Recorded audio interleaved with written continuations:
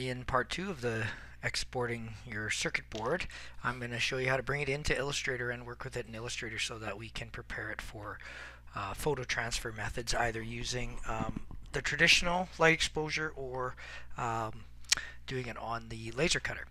So I've set up my document here and I'm going to place and find those images. So I'm going to go into and I'm going to start with just my flashlight circuit PNG and this is the one that just has the layers or the layer with the components. So you'll see when I zoom in it's not a very good quality picture. So if I just try and do a trace image on it, I've tried it and honestly the, the results aren't great. So uh, I'm going to manually create this circuit board but with a few quick tips, I can make this a pretty easy process.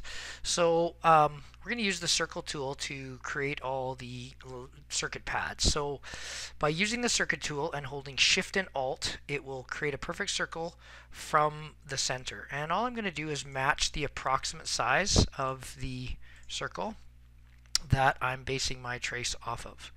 And then what I'm going to do is I'm just going to replicate this. So by clicking on it with your black selector arrow and holding the Alt button down, you'll see this double arrow appears and you can just grab and trace it. If you hold the Shift button down as you move, it will lock it into a sideways um, direction or a down direction. And if you use Control D after you do that, it's for duplicate, and I can just quickly duplicate these and move them wherever I want.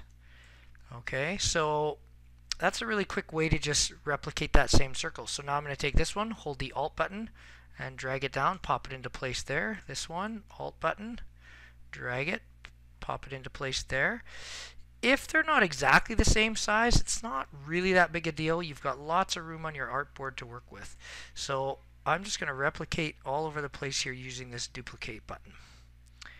Okay, so you would continue to do that for the components down here. Uh, these circles that are much bigger, again, I would just take my duplicate button, put it roughly in the center, and then if you hold Shift and Alt and grab a corner, it will expand it from the middle, again, lined up in the exact same, or with the exact same um, scaling factor. So in other words, it'll stay a circle. Um, and again, I'm going to use my Alt.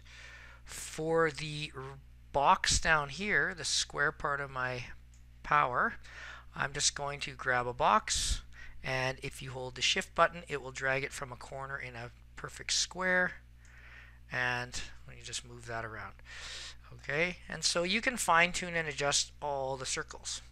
For the tracing pattern of the actual lines you're going to grab the pen tool and we're going to start and create our traces with the pen tool. Now before we do this, what we want to do is we want to set up the stroke prior to doing all the tracing, otherwise it gets really messy.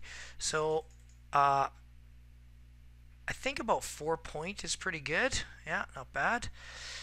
And there's my first trace and I'm going to hit escape. And basically what I can do now is just create the traces. And again, uh, shortcuts like the shift key or hotkeys like the shift key will just lock things so that they're perfectly vertical. So if I go down here and bring it down to here and I hold the shift key, it will just keep it in a vertical alignment and then I can just zoom in and out and I can work my way along until I create the trace patterns for the entire circuit. Each time I need to let go, just hit escape and it will let go of the line and then I can start a new line. So I'm going to quickly go and recreate all these traces. Oh, you can see up here I didn't actually hit the escape button. So I'm just going to go like this, delete that node, and with the white one is where you can fine tune stuff. So, oops, Control Z. I'm just going to make sure I click this so I've got the white node and if I bring it up like that, I, I've just created it that way.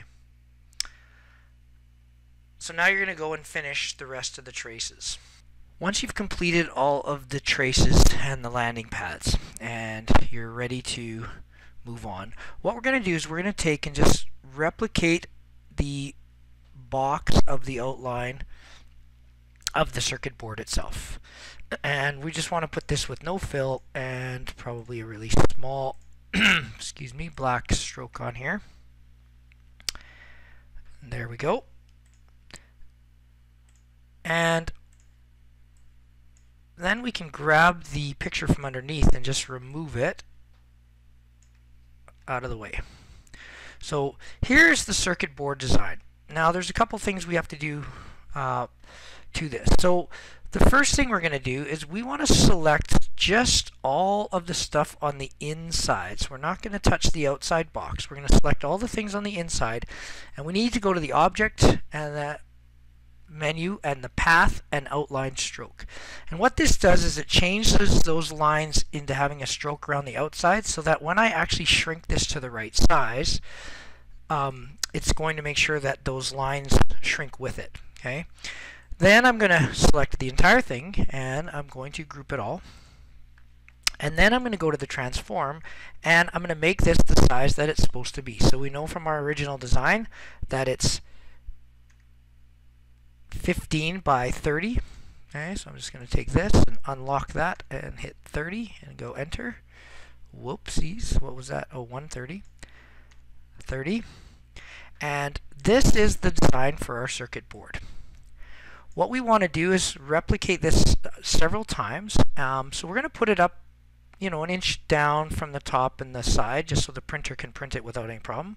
And by holding the Alt key and then the Shift key, we're going to move it over. And I'm just going to go Control Duplicate. I'm going to do four of them spread out somewhat, you know, somewhat evenly on the page.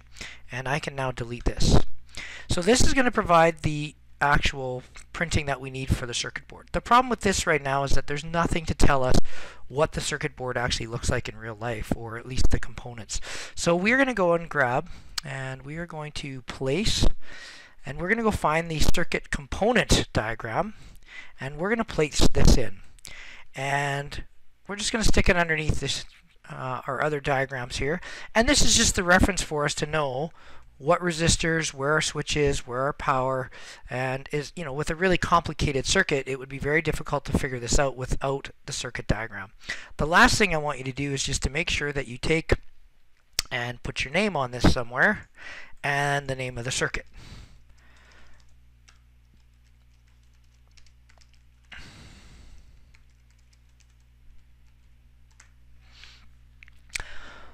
Once you've created this, you can print this to the printer and show this circuit to your instructor.